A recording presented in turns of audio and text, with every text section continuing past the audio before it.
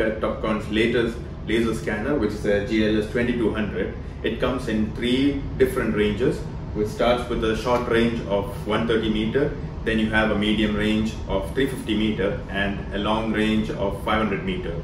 It comes with four hot swappable batteries, so this will help you to have an uninterrupted scanning in the field.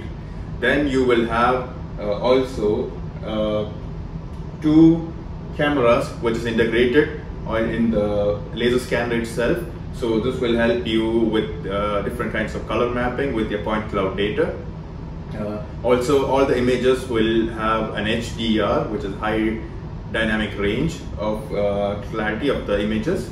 You will also have uh, a registration, which is resection and occupation backsight method, which will help you to register your data in the field itself using the, these kind of survey methods.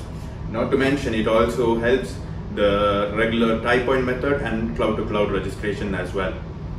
Another key feature of the GLS 2200 is that it has an auto height measurement. So uh, you can measure the height of the instrument from the center of the telescope till the survey point uh, automatically by just clicking one button. This instrument also has a surface accuracy of 1 millimeter, so this will help you to have a very high quality and highly accurate scan data in the field.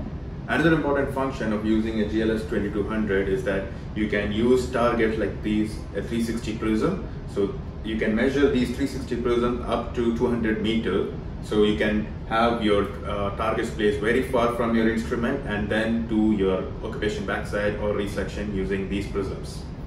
This laser scanner can also support remote control. So if you have to place your laser scanner in an inaccessible area, you can place your laser scanner there and then have a remote control which runs on an Android and you can connect to your laser scanner and then you can perform your scan.